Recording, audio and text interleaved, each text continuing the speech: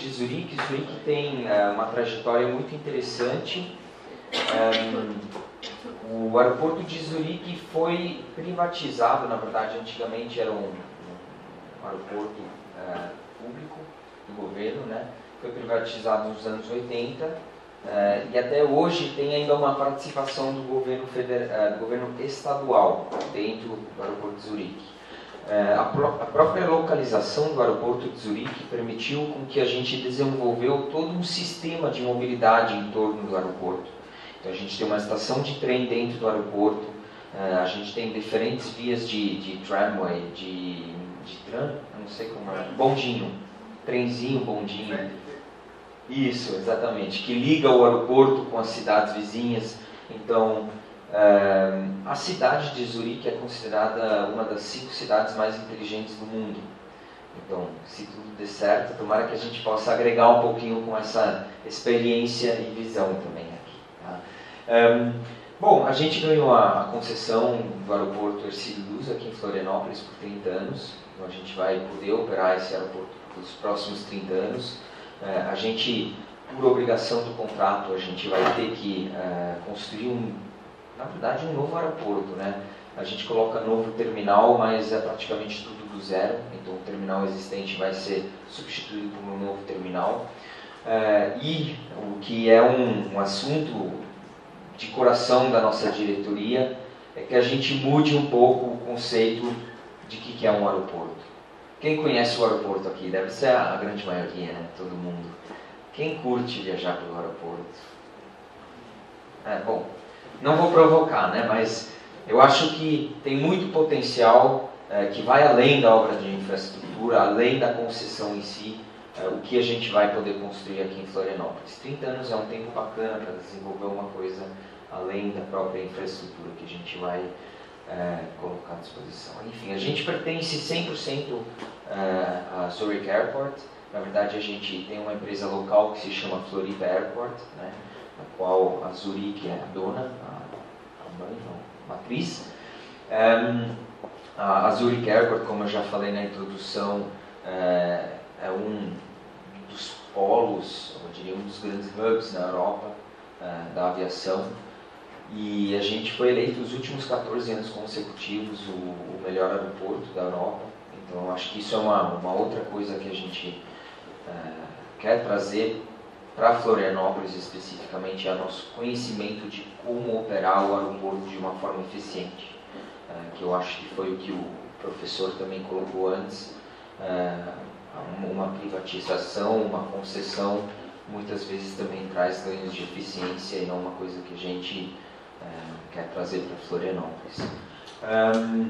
a gente já tem uma experiência com aeroportos, com concessões de aeroportos aqui na América é, América do Sul, América Latina, na verdade. É, esse aqui é o mapa onde a gente está atualmente envolvido. A gente tem participações em Curaçao, é, no Caribe. A gente tem dois aeroportos em, no Chile. A gente é responsável pela operação do aeroporto de Bogotá. Faz três anos a gente ganhou concessão em Confins, junto com a CCR. E agora felizmente a gente ganhou a concessão aqui em Florianópolis. É, foi um pedido, acho que de vocês, inclusive, para falar, falar um pouquinho por que Florianópolis. É, eu acho que foi uma feliz coincidência que a gente ganhou é, o aeroporto aqui. É o menor dos quatro aeroportos que faziam parte dessa rodada de concessões, né? Mas a gente acredita muito que a gente achou a joia dessas quatro, dessas quatro opções. Um, eu acredito que Florianópolis traz uma série de características muito interessantes. Por um lado, obviamente, a Zurique tem um interesse estratégico na América Latina, é, por isso também até a gente concorreu nos quatro aeroportos, não foi que a gente só entrou exclusivamente no caso de Florianópolis. É, mas o fato de ter ganho é, a concessão aqui, eu acho que é, fala sobre o potencial também da, da ilha de Florianópolis e contorno. A gente observa que vocês têm um mercado muito diversificado, obviamente tem isso principalmente de passageiros, tem tanto é, os turistas, que vêm com muita frequência, tem o setor público, que viaja muito a Brasília, que hoje em dia só tem o voo, é, tem é, toda a população local, tem o setor de TI e outros é, que estão em crescimento, então a gente enxerga a dinâmica local aqui como muito positiva. É, com isso vem, obviamente, a possibilidade de atrair muito mais rotas ou muito mais companhias aéreas de diferentes destinos. Belo Horizonte, por exemplo, não tem um voo direto, que com certeza seria uma coisa que a gente vai analisar com bastante cuidado. Um, e a gente também considera que uma construção de um terminal novo muitas vezes é muito mais fácil do que uh, fazer um puxadinho num, terminal já existente. Então a gente consegue chegar aqui, a gente vai implementar uh, algumas ideias que a gente tem de excelência operacional já nesse novo terminal e isso com certeza foi um fator que foi muito atrativo para a Zurich de, de apostar aqui em Florianópolis. Um, isso que eu coloquei também antes, a gente quer fazer uma coisa além do que o aeroporto uh, oferece em termos de uh, ponto de embarque e desembarque. A gente quer desenvolver todo um conceito uh, com possibilidades de praça de alimentação, de shopping, de outras obras de infraestrutura que podem ser construídas em volta é, do aeroporto, inclusive também projetos de urbanismo que vão ter um impacto. A gente vai mudar, como eu vou mostrar mais tarde, é, a localização do terminal para o outro lado da pista. Isso vai ter um impacto enorme não só no Carianos, mas também na Tapera, no Campeche. Isso vai envolver é, a participação de muitos stakeholders. Então isso é uma coisa que eu acredito e também a Zurich sabe que a gente tem experiência com isso e é uma coisa com a qual a gente quer contribuir aqui. Obviamente, uma coisa que eu não coloquei aqui na lata é que tem um interesse financeiro. Né? Todo qualquer empreendimento também é, vai querer sair com lucro, então, no final das contas, a atratividade econômica do empreendimento também é, foi um argumento pró-Florianópolis. Eu acredito que esse vídeo aqui a maioria já viu, que é o nosso sobre a nossa logomarca. Assim, é, é, tão bonito que eu quero mostrar ele de novo, mas se for muito repetitivo para todo mundo, vocês. Quem já viu o vídeo? Bom, a metade, então vou voltar.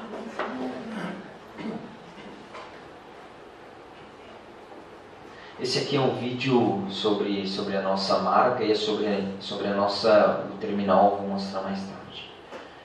E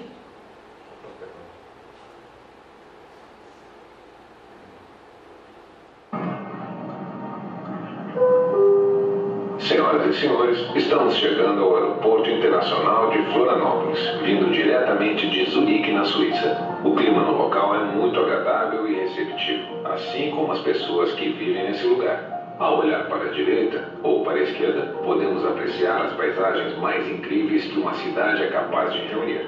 Aqueles que têm conexão com a natureza podem entrar em contato com a fauna e a flora local, ou podem aguardar a próxima onda em uma das 42 praias disponíveis.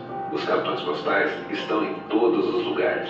Assim, podemos nos inspirar e fazer dessa nossa passagem por Florianópolis um período inesquecível para todos. Ajustem o encosto de seus assentos na posição que preferirem e muito obrigado pela confiança em nossa companhia. Esperamos que os nossos serviços estejam sempre à altura desse nosso novo destino.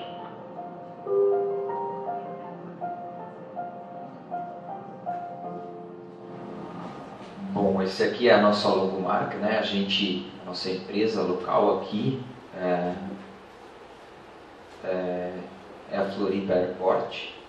Aí, esse aqui é nosso time. É, faz o que? Faz duas semanas, eu acho. Ah, faz um mês já. A gente estava, eu acho que em 42 pessoas, hoje a gente está em 79. Outubro. É, faz um mês. A gente estava em 42, hoje a gente está em 79. Semana que vem a gente está em 103, se não me engano. E até o final do ano a gente tem que estar tá em 160. Então isso mostra, eu vou entrar um pouquinho mais em detalhes depois, a complexidade de todo o nosso empreendimento. A gente montou uma empresa do zero, quatro meses, sim, quatro, quatro meses e meio para 160 funcionários. E isso eu acho que também traz oportunidades para o meio jurídico, conhecendo as leis trabalhistas aqui no Brasil. É... Ixi, isso foi gravado, né? Bom, eu vou entrar um pouquinho mais em detalhe no, no contrato da concessão. uh, que é, na verdade, que deve ser de mais interesse de vocês. Pelo que eu sei, esse contrato é público também, então vocês conseguem acessar e verificar se tudo é verdade que eu falo. Um, olhando para a linha de tempo, né, a gente ganhou a concessão em março desse ano. Então é muito pouco tempo para pensar em montar uma empresa, construir um novo terminal, é, redesenhar o conceito de um aeroporto. Então mostra muito bem a complexidade. Né? Atualmente a gente está aqui bem antes de começar a construção de um novo terminal. Mas vamos começar aqui na frente. A gente ganhou a concessão em março de 2017. É, em julho de 2017 a gente assinou o contrato da concessão. Em final de agosto, dia 31 de agosto, começou a data de eficácia do nosso contrato. Ou seja, a partir dessa data, a gente tem 26 meses, seja, dois anos e quatro e dois meses, dois anos e dois meses, para entregar um novo aeroporto. Isso em termos de construção. Isso é muito pouco tempo. Mas mostra também que o governo brasileiro, nesse caso, foi extremamente ágil em avançar nesse processo de privatização. Tá? Um, então, a gente, nesse exato momento, a gente se encontra numa fase de transição operacional. A partir do dia 31 de agosto, a gente teve 30 dias para apresentar o nosso projeto de como a gente vai fazer a, a fase de transição, junto com a Infraero, que são os nossos parceiros, quer dizer que é quem opera o aeroporto hoje, na verdade, e está ajudando a gente a assumir uh, o, uh, o aeroporto em 2018. Então tinha esses 30 dias. A partir do dia 24 de outubro, a gente teve esse plano aprovado e a partir de lá tem 70 dias corridos, nos quais a gente aprende da Infero como operar o terminal aqui em Florianópolis. Então, a princípio, começo de janeiro, se a ANAC, que é órgão regulador, regulamentador, regulador, regulador, se a ANAC aprovar todo o nosso período de transição, a gente assume dia 3 de janeiro, a princípio a gente assume as operações. É complicado, né? É em plena temporada, vai ser justo antes uh, da primeira leva de argentinos que estão chegando. E a gente sabe dessa dificuldade, por isso que até eu levanto isso também, a gente tem que nivelar as expectativas. Não porque a gente assume no dia 3 de janeiro, o mundo vai mudar. Vai ser eu não vou falar que vai ser um caos, mas vai ser, vai ser um grande desafio mesmo para alguém que opera um aeroporto de 26 milhões, operar dentro da infraestrutura de hoje essa quantidade de turistas. Tá? Então, para quem vai viajar no Réveillon, não vai melhorar muita coisa ainda. Isso é o que eu queria, queria enfatizar. Né? A gente tem mais, até outubro de 2019, a gente vai ter que operar o terminal existente. Então isso vai ser um grande desafio que a gente vai enfrentar, já antecipando os desafios que eu vou colocar depois. Mesmo assim, a gente faz melhorias imediatas. A gente começou ontem à noite uh, as primeiras obras, uh, junto com a Infero, com o apoio da Infero. Uh, melhorias principalmente na questão de eficiência operacional. A gente vai redesenhar a área de security. Um, a gente vai fazer algumas melhorias em questões de espaço na parte de desembarque.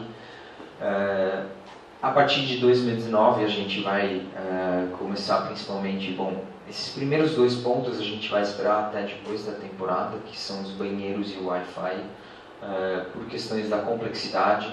A gente julga não muito interessante mudar essas coisas em plena alta temporada, por isso que a gente vai manter o, o é, as duas coisas como estão atualmente. Mas a gente com certeza vai conseguir reduzir o tempo de espera na área de segurança, a gente vai melhorar um pouquinho o ambiente no, no terminal existente. Assim, a sinalização hoje ela é muito confusa. Eu não sei se, se vocês prestam atenção mas é nisso, mas é, é chocante, é, é, muito chocante. Isso vai ser melhorado a partir de janeiro já. É, enfim, e muito mais, né? A gente não quer prometer demais também, mas vai ter muitas mudanças e a gente espera que a partir de começo de janeiro vocês consigam sentir a mudança da gestão também. Bom, isso foi o que eu coloquei no começo, né? A gente vai mudar para outro lado, isso vai ter muita, uh, muito impacto em questões de, de urbanismo. Uh, e também esse aqui é o, o famoso abacaxi, né? a, a via de acesso, uh, que depois eu vou levantar nos desafios e entrar um pouquinho mais em, em detalhe também. Um, eu acho que esse, esse slide aqui que mostra muito bem que esse novo aeroporto vai trazer muitos desafios, mas eu acho que vai trazer ainda mais oportunidades e mais tarde eu posso elaborar isso um pouco mais. Pelo nosso contrato de concessão, tem alguns uh, elementos que a gente vai ter que cumprir. Por um lado, a gente vai ter que estender a pista por 100 metros, uh, que hoje em dia é de 2 km e 300 metros, a gente vai aumentar para 2,400. Uh, a gente a Infraero já começou uma obra aqui, né, do outro lado. A gente vai poder aproveitar grande parte dessa, desse trabalho que já foi feito. Então a gente vai ter que finalizar o taxiway aqui, a pista de taxiamento. Aqui a gente vai fazer tudo do zero, um novo, novo terminal, ou seja, novo aeroporto, novo pátio novo estacionamento. Aqui tem as condições. A gente é obrigado pelo, pelo contrato de concessão de fazer um aeroporto de dois níveis, então embarque e desembarque separado, o que faz todo sentido também. Uh, a gente acho que não é obrigado, a gente obviamente é obrigado a aumentar o tamanho, mas a gente uh, fez a projeção de que até 2030 a gente consegue chegar a 8 milhões de passageiros e com isso 40 mil metros quadrados, aproximadamente 40 mil metros quadrados seria um tamanho, uh, um tamanho ideal. Um, a gente é obrigado também a ter 15 uh, posições de estacionamento para as aeronaves e 10 delas vão ter um finger, uh, que são as pontas de embarque. Né? Eu, eu fiz uma brincadeira mais cedo uh, que eu acredito que daqui a 10 anos as pessoas vão sentir saudades de embarcar caminhando até a aeronave, né? quando não tiver vento sul ou chuva. Mas uh, esses fingers vão, vão facilitar bastante. Isso aqui, eu gostaria, eu sei que eu não tenho muito tempo, já estou falando demais, né? mas eu queria dar um tour virtual pelo novo terminal. E na verdade vocês são os primeiros a ver isso. Ninguém, isso ainda não, não foi ao público. Floripa Airport, um projeto concebido para proporcionar aos habitantes da ilha e aos turistas uma experiência confortável do início ao fim. O acesso ao aeroporto é feito por dois níveis, separados por uma via elevada, com total independência entre o embarque e o desembarque. O terminal de passageiros é amplo e possui área de conexão eficiente com 10 novas pontes de embarque uma área maior para o conforto dos passageiros, com raio-x, controle de passaporte e amplo saguão de check-in. Um novo aeroporto, com design arrojado e toda a funcionalidade necessária para uma excelente operação. Uma nova opção de lazer para Florianópolis é a praça de alimentação com 2 mil metros quadrados. E para esperar a chegada de um visitante ou mesmo horário de seu voo, um terraço panorâmico com 670 metros quadrados traz a possibilidade de contemplar a bela paisagem para o aeroporto. O estacionamento amplo possui mais de 2.500 vagas e dá as boas-vindas com uma generosa praça de acesso. E na hora de embarcar, os 10 fingers climatizados facilitarão o acesso dos passageiros até os aviões. Dois deles comportam grandes aeronaves para ligar Florianópolis a novos destinos em voos mais longos e diretos. O check-in é feito de maneira rápida e eficaz, com espaço generoso, organizado e com um sistema automatizado de manuseio de bagagens. Tudo isso conta com a mais moderna tecnologia de sistemas aeroportuários. Os espaços comerciais também serão ampliados para proporcionar maior possibilidade de escolha a passageiros e visitantes com ótimas opções de lojas. Na área de embarque, uma praça de conveniência com lojas e espaço de conforto para famílias. Para quem gosta de compras, um duty free amplo e renovado. E para quem quer conforto a mais, a área VIP terá também vista panorâmica do pátio de aeronaves e da pista de pouso e decolagem. O ambiente interno integra arquitetura e natureza de forma sustentável. O jardim conta com espécies nativas da região com iluminação natural abundante. O novo terminal será eco-friendly e tudo funcionará com baixo consumo de energia. A iluminação será toda feita em LED além do reaproveitamento do uso da água. A obra racional terá seus resíduos utilizados para reciclagem. Este é o novo Aeroporto Internacional de Florianópolis. Nós somos a Floripa Airport.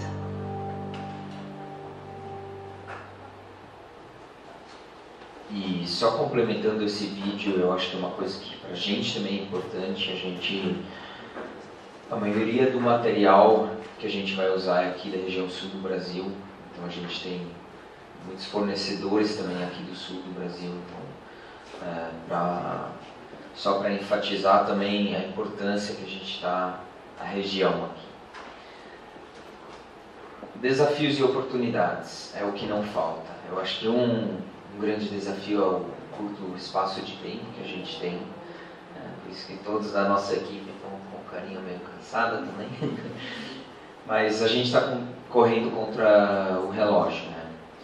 Um, isso é que eu já falei, a gente tem que tomar muito cuidado para nivelar as expectativas. Eu acho que as expectativas, pelo fato de uma empresa da Suíça vir para cá, com excelência operacional e tudo mais, gera uma expectativa muito alta. Eu acho que nos primeiros dois anos isso, infelizmente, não, vou me corrigir. Eu espero que a gente consiga cumprir com as expectativas, mas é, vai ser um grande desafio, né, porque não tudo vai, vai ser possível mudar agora nesse primeiro ano, principalmente.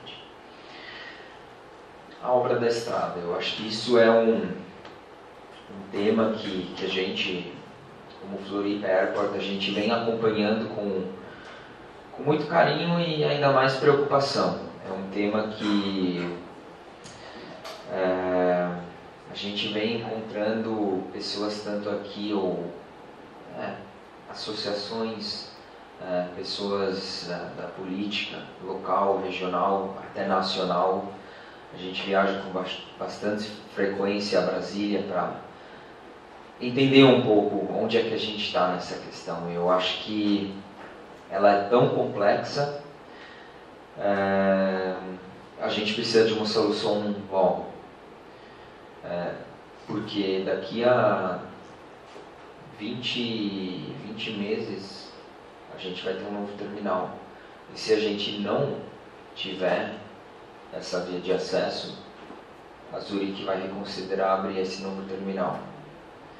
Então, vai ter um impacto, eu acho que não só econômico muito grande, mas eu acho que para a própria população, é, para o acesso sul da ilha também.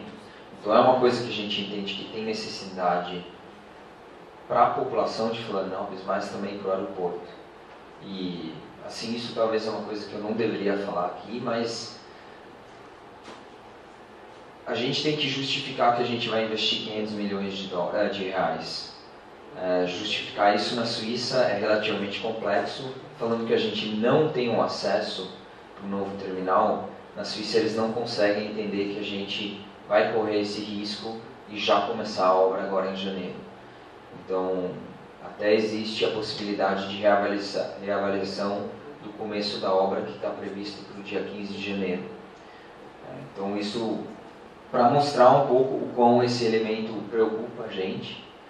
É, eu acho que é importantíssimo ter uma solução nessa questão o quanto antes e a gente vai continuar cobrando, porque sem essa via de acesso para a gente economicamente não é viável abrir um novo terminal. Essa é a minha preocupação principal, tá? Então não vou ficar tão triste com todos os pontos que eu vou colocar. É, esse desafio, infelizmente, não tem nem como eu enxergar uma oportunidade, porque nos, em todos os demais desafios eu acho que eu vou ter uma oportunidade para comentar. Então esse realmente para a gente é um, uma grande dor de cabeça.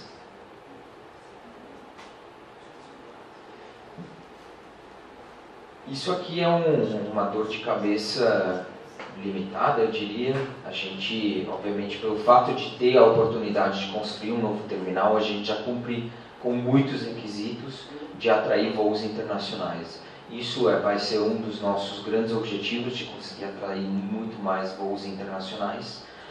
Agora, o nosso contrato de concessão eh, prevê ou obriga a gente que a gente tem que aumentar a pista por 100 metros o que na verdade no final das contas, quando a gente olha do, do olhar mais da aviação, não vai adiantar muita coisa.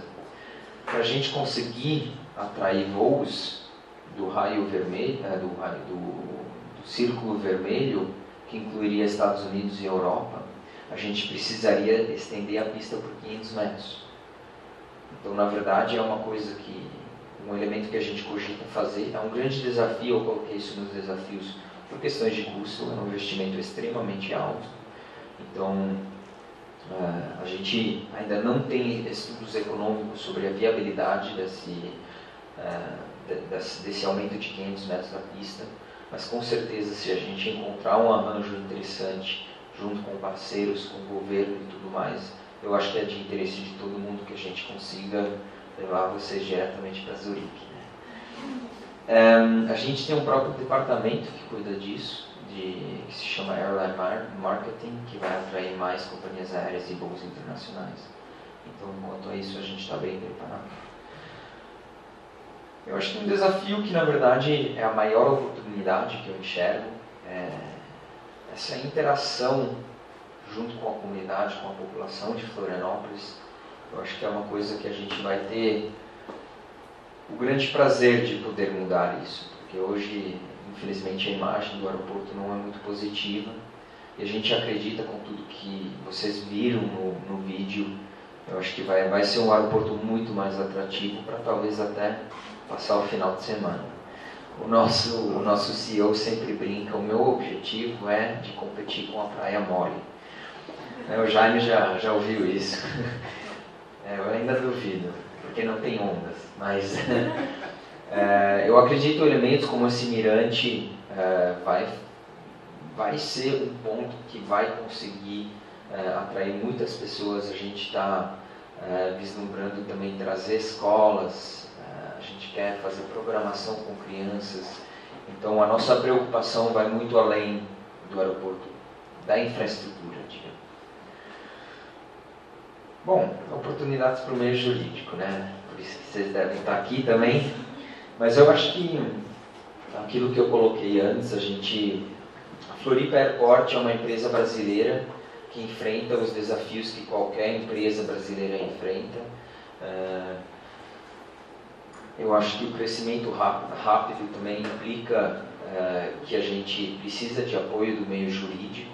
Né? De, a gente até tem uh, parceiros aqui locais, o escritório do Dr. Tulo Cavalazzi. É, e nível Brasil, a gente também colabora com, com dois outros escritórios de advocacia. Então, eu acredito que, que existe muito potencial para colaborar conosco nesse sentido.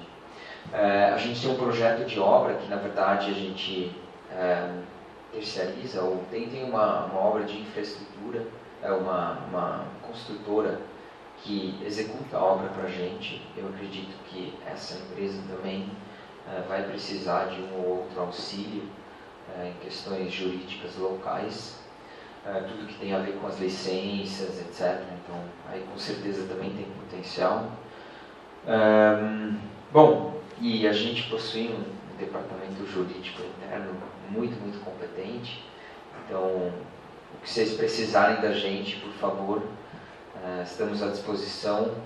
Eu acredito que a imagem do aeroporto, o aeroporto em si, daqui a dois anos vai ser outro aeroporto. E o que vocês foram precisar da gente, que a gente puder colaborar com vocês também, por favor, estamos à disposição. E qualquer pergunta também. Obrigado.